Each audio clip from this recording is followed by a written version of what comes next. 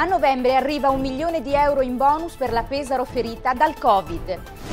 17 casi di contagio a Sasso Corvaro, in provincia i nuovi positivi sono 89. Consiglio regionale, anche il pesarese Baiocchi nel nuovo esecutivo delle Marche. Promozione turistica, presentati gli itinerari delle Rocche di Giorgio Martini.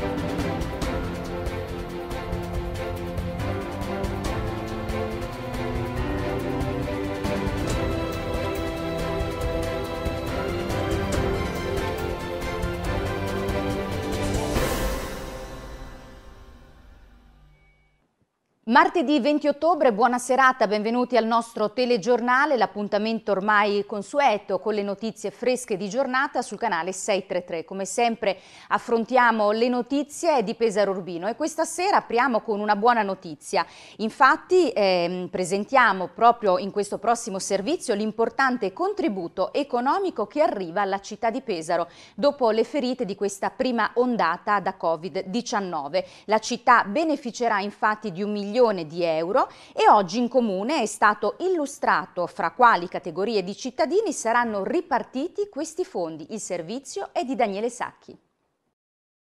Un milione di euro da devolvere ai cittadini di Pesaro. È questa la cifra ottenuta dal comune che si è battuto per essere inserito nel novero delle città più colpite dalla prima ondata di Covid-19 un milione che si inserisce in un bilancio comunale in equilibrio e che dunque l'amministrazione ha deciso di devolvere alle fasce più deboli, alle fasce più sensibili e a quelle economicamente più ferite della città. 300.000 euro saranno così erogati in buoni spesa, 600.000 euro in bonus da spendere per bambini e ragazzi fino a 14 anni. I restanti 100.000 euro andranno ad aziende e imprese che hanno registrato un blocco dell'attività dal lockdown in poi. Siamo riusciti ad ottenere questo milione di euro importantissimo per eh, essere stati purtroppo uno dei comuni più colpiti nella prima ondata del virus in primavera. E ci siamo dovuti battere in Parlamento per raggiungere alcune risorse ai comuni più colpiti, oltre alle cinque province eh, per le quali erano già state stanziate delle risorse e grazie alla virtuosità del bilancio del Comune e il fatto che abbiamo un bilancio in pareggio siamo in grado di destinare questo milione tutto completamente ai cittadini pesaresi. L'abbiamo deciso di utilizzare dei bonus perché è un una tantum straordinaria, eh, tre bonus, uno per la spesa, per le famiglie più in difficoltà, un bonus simile a quello che avevamo già fatto in, ad aprile per Pasqua, eh, un bonus invece per tutti i bambini da 0 a 14 anni, eh, tranne le famiglie più benestanti che hanno un reddito netto eh, nell'ultimo mese superiore ai 4.000 euro. E un bonus invece per le imprese che hanno avuto sostanzialmente un blocco delle attività, quelle imprese maggiormente colpite con più dell'80% di calo di, eh, di, fatturato. Una piccola risposta però molto importante che darà una mano, bonus spesa darà una mano a fare la spesa a tante famiglie in difficoltà, contiamo almeno 1500 famiglie, il bonus cresci, il bonus bambini andrà a tutti i bambini da 0 a 14 anni, 100 euro bambino, da utilizzare in città per le spese legate alla crescita, quindi dal pagamento del nido all'asilo, ai libri scolastici, ai trasporti pubblici, eh, fino al materiale di cartolibreria, i tablet, i computer e anche le spese sociali legate alle società sportive, alle associazioni di, nei quali i bambini magari crescono. Quindi un'azione molto importante e dal 2 al 12 novembre si potrà fare la domanda, da qui ai prossimi giorni renderemo tutto chiaro sul nostro sito, sarà un meccanismo molto semplice basato sull'autocertificazione e di conseguenza anche veloce. Il terzo bonus eh, va in aiuto alle attività commerciali, sono 100.000 euro, 100 imprese che potranno usufruire e abbiamo pensato a tutte quelle attività che hanno avuto un calo economico dell'80%. I fattori che abbiamo tenuto in considerazione sono anche eh, il fatto che gli altri due bonus vanno a creare un indotto su alcune attività, quindi abbiamo deciso anche tramite i codici ATECO e facendo uno studio all'interno delle attività economiche e anche con le associazioni di categoria quali sono quelle attività che sono state più danneggiate nonostante ci sia stata la riapertura ad aprile e, e, anche in futuro quelle attività che comunque continueranno ad avere difficoltà e ad esempio ve ne cito qualcuna come l'agenzia di viaggio, i tour operator o anche tutto quello che si occupa di pubblico spettacolo o anche le discoteche e abbiamo quindi eh, considerato che all'interno del bonus si darà priorità a queste attività. I buoni spesa saranno, i buoni, eh, di, saranno diversi, quindi a seconda della linea di intervento, che, della, linea di intervento della misura eh, della linea d'azione saranno del valore di 10 euro, quindi abbiamo diminuito il valore di ciascun taglio. Questo servirà per, eh, per incentivare l'utilizzo anche nei negozi di vicinato, quindi non soltanto supermercati, ma per poter essere utilizzate anche in quelle attività eh, di vicinato, come può essere il forno, può essere l'attività più vicino a casa e quindi il taglio sarà da 10 euro e, e, saranno due diversi buoni di colore diverso perché uno, il, quello, il buono spesa, sarà più di natura sociale quindi sarà eh, destinato a quelle famiglie in difficoltà economiche l'altra invece sarà un bonus eh, di natura più universale e quindi potrà essere utilizzato eh, soltanto per quelle attività, per quelle, per que, insomma, in quelle attività che accompagnano la crescita dei bambini dei ragazzi. E siamo al secondo giorno dell'entrata in vigore del DPCM emanato dal Premier Conte e fra i punti cruciali del decreto c'è la delega ai sindaci della possibilità di chiudere quelle zone più sensibili agli assembramenti. Nel nostro territorio si sta preparando in tal senso un lavoro di squadra fra tutti i comuni della provincia di Pesaro Urbino e in prefettura si riunirà giovedì prossimo eh, il sindaco Ricci con gli altri sindaci assieme al prefetto per discutere di questa misura. Sì, beh, penso che ieri già ci sia stato un chiarimento tra il governo e l'ANCI perché spetterà ai sindaci individuare eventuali zone da chiudere, strade, piazze se sono a rischio assembramenti e spetterà ai prefetti eh, e alle forze dell'ordine fare i controlli. I sindaci non sono sceriffi, è giusto che vadano loro ad individuare le aree più a rischio, però non hanno un numero di polizia municipale sufficiente per gestire chiusure di spazi pubblici, quindi il tema dei controlli deve essere in mano ai prefetti e alle forze dell'ordine, questo è stato chiarito giovedì con il prefetto con il quale c'è un'ottima collaborazione, faremo il punto sulla nostra città e sulle città della provincia di Pesaro. Ed ora il consueto servizio dedicato agli aggiornamenti dei dati del coronavirus nella nostra provincia, con particolare attenzione a quanto sta accadendo a Sasso Corvaro, dove si sono registrati 17 casi che coinvolgono anche la scuola d'infanzia. 89 nuovi casi positivi al contagio da Covid-19 su 1882 tamponi effettuati, 16 di questi casi di contagio sono in provincia di Pesaro Urbino. È questo il dato delle ultime 24 ore raccolto dal Servizio Sanitario regionale che denota una lieve flessione rispetto ai 98 casi del giorno prima e soprattutto del picco dei 204 episodi di contagio rilevati fra sabato e domenica. La guardia però resta altissima, soprattutto perché è cresciuto il numero dei ricoveri. Sono 16 i pazienti nelle Marche in degenza in reparti di terapia intensiva. Nel Pesarese si tiene d'occhio soprattutto la situazione nelle scuole, dove ci sono casi di classi in quarantena ai licei Mamiani Marconi di Pesaro, così come analoghe situazioni si stanno verificando nell'entroterra. Il caso più delicato è attualmente a Sasso Corvaro, dove ieri sono emersi 17 casi positivi al contagio. Il sindaco Daniele Grossi assicura come si stia prendendo ogni misura utile a contenere la situazione. La scuola è stata chiusa già da domenica scorsa, non questa domenica, la domenica prima. E nel frattempo l'ASUR ha effettuato i primi tamponi su una sezione, della, perché all'interno della scuola dell'infanzia abbiamo due sezioni. Quindi una sezione, quella con i, dei bambini che erano stati a contatto con il positivo, sono già stati eh, verificati. Quindi in quella sezione abbiamo riscontrato otto bambini positivi asintomatici. Per fortuna tutti stanno bene e questa è la cosa più importante. E adesso, domani, l'ASOL effettuerà il, i tamponi ai bambini della sezione, dell'altra sezione. Quindi aspettiamo l'esito adesso delle, eh, dei controlli sui bimbi dell'altra sezione, in modo che non appena avremo l'esito e avremo, avremo la possibilità eh, di riaprire anche la scuola, la scuola dell'infanzia per tutti i bambini negativi che al momento sono tutti a casa altre persone con sintomi non ne abbiamo, anche collegati ai bambini, alla scuola e ai bambini asintomatici positivi, quindi nelle famiglie eh, stanno tutti bene, non hanno sintomi, però ecco, faranno ulteriori verifiche e accertamenti sanitari anche perché ci sono tanti asintomatici, quindi aspettiamo di conoscere l'esito da domani con i nuovi tamponi, quindi già venerdì potremo avere un po' la situazione più sotto controllo. E si è parlato di Covid-19 anche nel primo consiglio regionale al quale lunedì ha partecipato anche il neo-eletto Nicola Baiocchi che sarà fra i pochi rappresentanti di Pesaro in consiglio. Proprio Baiocchi ci illustra le principali azioni di partenza della nuova amministrazione. Un momento molto particolare, un momento, ieri un momento bellissimo perché mm, eh, sai, il, il, primo giorno è come il primo giorno di scuola, una sensazione bellissima, in un'assise molto bella, ho conosciuto tanti colleghi nuovi, chiaramente adesso bisogna mettersi a lavorare, lavorare a testa bassa per, per la regione, per l'interesse della regione, di questa provincia e di, e di questa città. Tu in questo momento sei uno dei pochi rappresentanti della città di Pesaro in consiglio regionale, credo sia fondamentale lavorare per la collaborazione tra, tra amministrazione regionale e locale.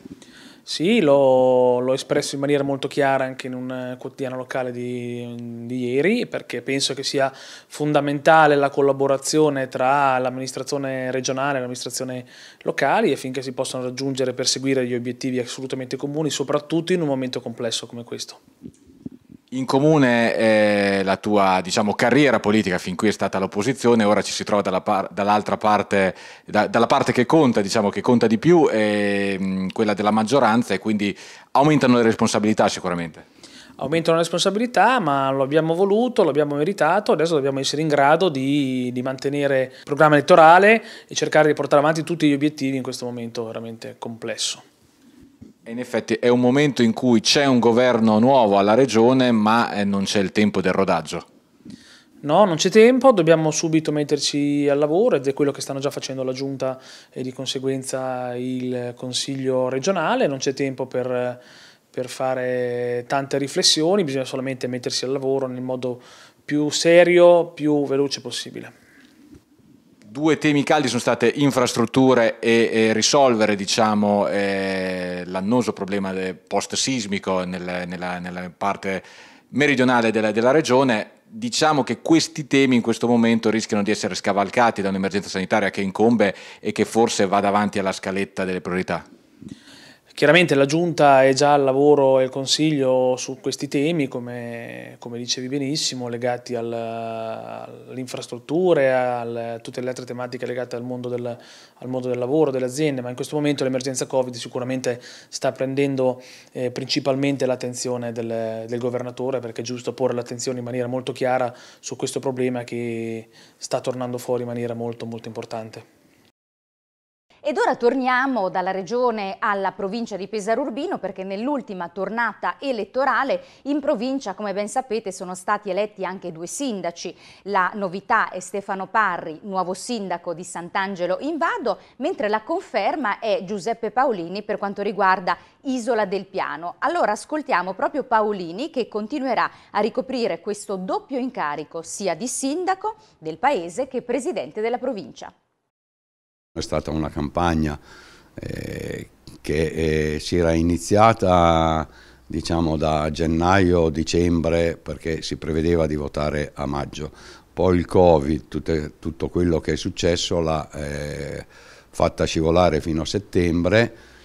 e diciamo che è stato perlomeno per quello che mi riguarda una campagna elettorale eh, molto, molto soft eh, vorrei solo dire una cosa, il giorno sabato che il silenzio elettorale, ma si sa che il silenzio elettorale non, non esiste, si passa nei paesi piccoli, nelle case, io sono stato a trovare le persone anziane, ma veramente le più anziane, che hanno contato qualcosa nella mia vita, sia nella formazione sia nell'insegnarmi eh, tutta una, un, mo, un, modo di vivere, un modo di vivere eh, siamo stati parecchie ore, sono state parecchie ore insieme in queste, in queste case eh, con queste persone, per cui diciamo l'ho vissuta in maniera molto soft, molto leggera, senza essere né aggressivo né usare dei toni al di sopra delle righe. Per quanto riguarda la riconferma sindaco di Isola del Piano, adesso gli interventi riguarderanno le piccole attività appunto del comune per la loro sopravvivenza anche a causa del Covid. Ma noi di piccole attività nel comune abbiamo alcuni, alcuni artisti artigiani che lavorano e fanno dei grandi lavori oltretutto, se no noi abbiamo due attività molto, molto forti. Abbiamo l'LC Mobili che impiega circa, un, mi sembra, 200 o più dipendenti, e che ha diversi, diverse strutture, capannoni eh, sparsi nella provincia. E poi abbiamo anche la cooperativa Girolomoni che è eh, una cooperativa che opera dal, dai, dagli anni 70 nel settore del biologico che dà lavoro a 70 persone con il suo pastificio e il mulino, per cui noi cerchiamo di andare incontro alle, alle, realtà di queste due aziende, perché essendo piccolo il paese però ha delle attività produttive che sono riconosciute a livello mondiale. È naturale che devi sostenerle, devi cercare di andare incontro con delle agevolazioni per quello che è possibile, perché il comune non è tanto ricco, e, e, e, poi lavoreremo per rifare e ridare un'immagine diversa al paese di Isola del Piano che negli anni, negli anni 60 è stato eh, completamente stravolto da un punto di vista architettonico. Abbiamo avuto anni fa una donazione che grazie ai 6.000 campanili siamo riusciti a ristrutturare da un'anziana signora di Isola Piano, che è diventata adesso un luogo di incontro sia per gli anziani e nella parte alta del palazzo, primo e secondo piano, c'è una realtà eh, di giovani che fanno parte del progetto Dopo di Noi ed è veramente una ricchezza e una bellezza poter incontrare questi eh, ragazzi, queste persone che eh, sono diversamente abili, eh, ma che hanno uno spirito e una forza che è impressionante e vederli magari delle sere eh, giocare a carte di sotto dove c'è lo spazio degli anziani, giocare a carte con, con, gli anziani o discutere con questi è una cosa che rallegra l'anima.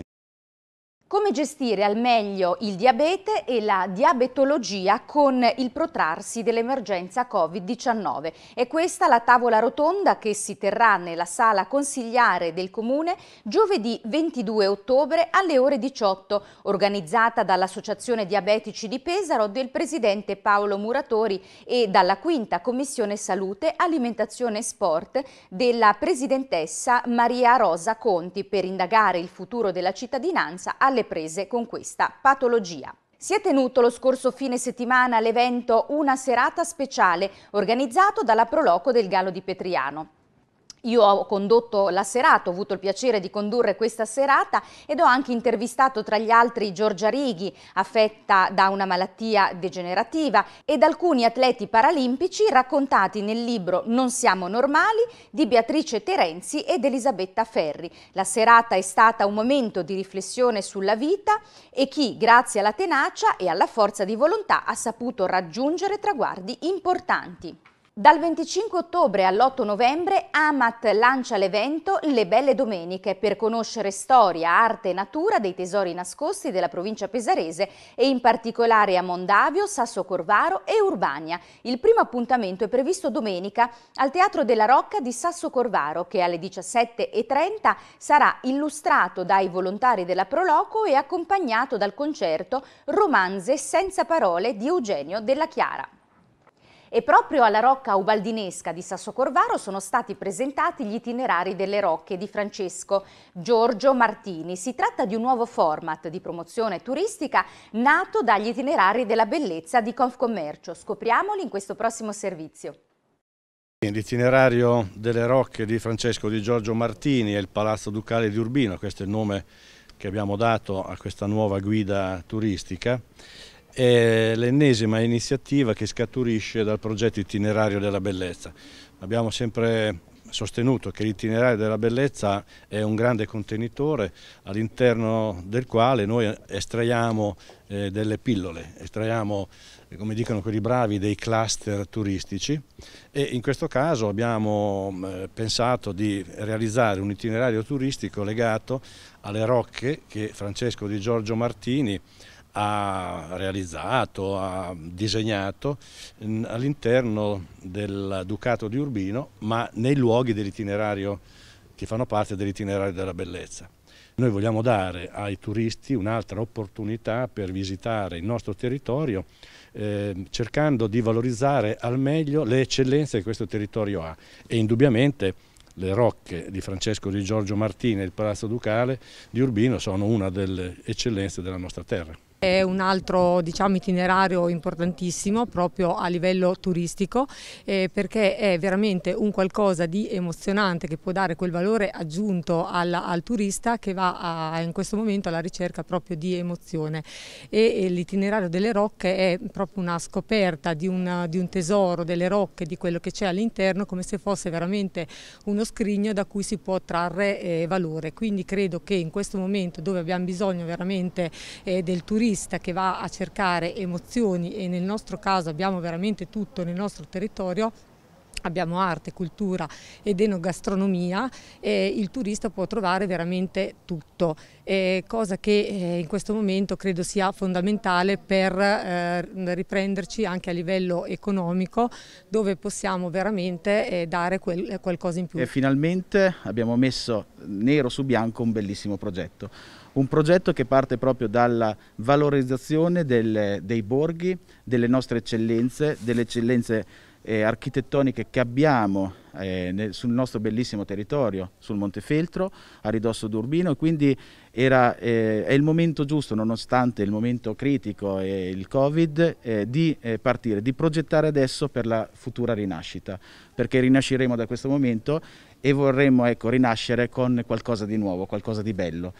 parlando proprio della bellezza, parlando della, dei nostri borghi, delle nostre eccellenze. E quindi eh, con la Confcommercio, e ringrazio il direttore Amerigo Verotti,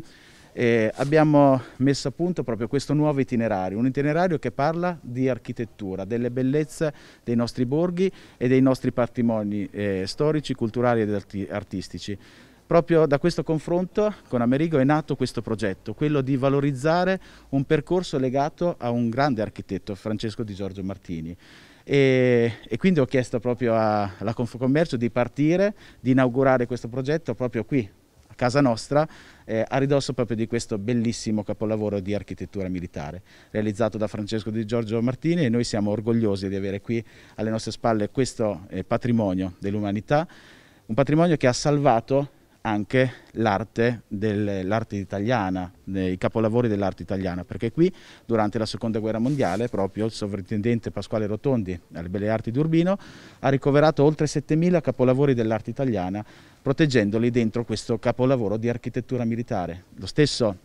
eh, Pasquale Rotondi riconosce nella struttura eh, di, della Rocca di Sassocrovaro la solidità, quindi eh, ritiene eh, il luogo ideale, eh, la Rocca di Sascorvaro, per proteggere l'arte. Ed ora passiamo allo sport, in modo particolare parliamo di Vispesaro. Lo stadio Benelli domani infatti tornerà a riaprire le porte al suo pubblico per una partita di campionato appunto che vede la squadra pesarese ad otto mesi dall'ultima volta. In Vis Triestina in programma domani alle 18.30 per la sesta giornata di campionato saranno ammessi allo stadio solo gli abbonati che hanno confermato la tessera dello scorso campionato. L'attuale DPCM DPCM prevede infatti che si possano aprire al pubblico gli stadi solo al 15% della capienza, il che significa che per il Benelli di Pesaro saranno ammessi al massimo 449 spettatori, una cifra che coincide con l'attuale quota abbonati della squadra biancorossa. Dopo la brutta sconfitta con Trento, la Carpegna Prosciutto Basket si consola sorridendo sul fronte sponsor. Umbra Control, azienda leader nel settore dei sistemi integrati, ha infatti siglato il contratto di sponsorizzazione per la stagione 2020-2021, confermando così il proprio supporto al basket pesarese per il quarto anno consecutivo. E siamo arrivati alla fine del nostro telegiornale, vi ricordo sempre il nostro numero per le segnalazioni, mi raccomando mandateci messaggi Whatsapp al 370 366 7210 e vi ricordo anche qual è la programmazione di questa sera su Rossini TV. In prima serata alle 21.15 c'è la prima eh, puntata ufficiale di White Dog, questo programma de dedicato alla musica, dedicato ai locali della provincia di Pesaro Urbino. Questa sera saremo al Caffè della Fortuna con il trio Caos. Poi le prossime puntate eh, vi daremo comunicazione quando andranno in onda eh, perché dobbiamo vedere insomma se ci sono nuovi DPCM per quanto riguarda i locali che fanno pubblico intrattenimento. E domani non perdetevi il nostro appuntamento con la rassegna stampa, alle 7.20 infatti saremo in diretta sia tv che Facebook. Buona serata!